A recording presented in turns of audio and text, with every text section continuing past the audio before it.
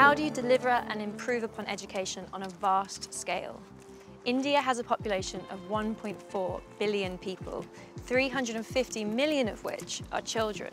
And whilst everyone agrees education is really important, there is huge variation in the quality of education that can be offered across the country.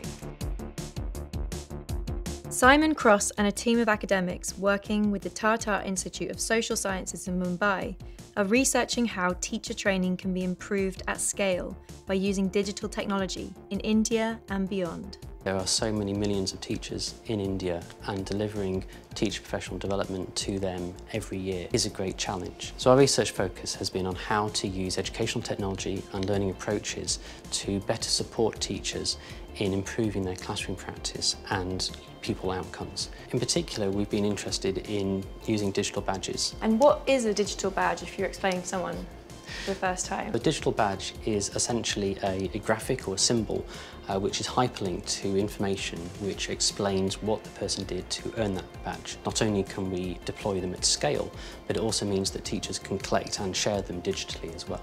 So there was an overwhelmingly positive response from teachers. Not only did they engage with the learning materials and with the assessment linked to the badges, but they took great pride in receiving the badges.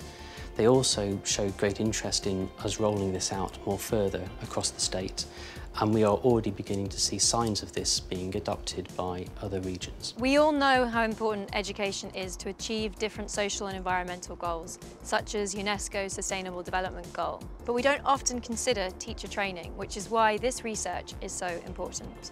If you would like to find out more about research projects or courses at the Open University, go to open.ac.uk.